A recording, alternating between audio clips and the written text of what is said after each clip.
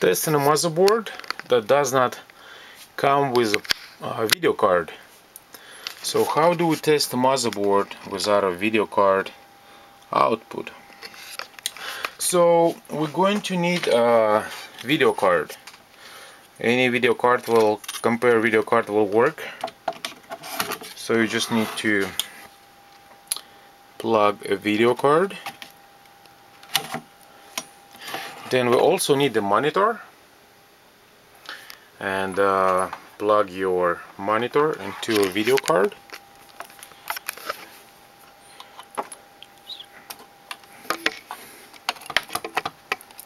Next thing we need to have a power supply. So the compared power supply. So we plug in a power supply.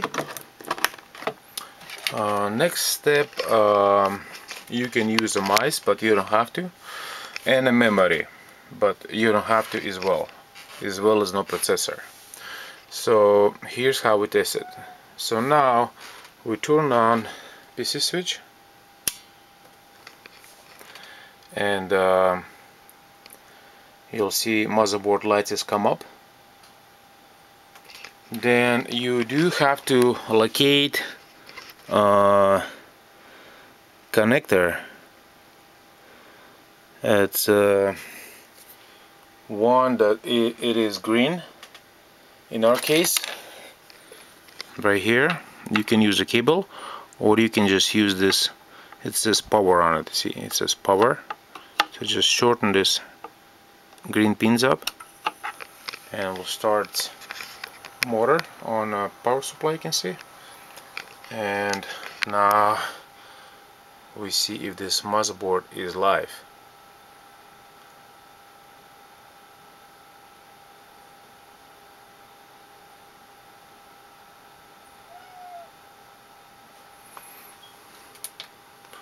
Uh, display is on.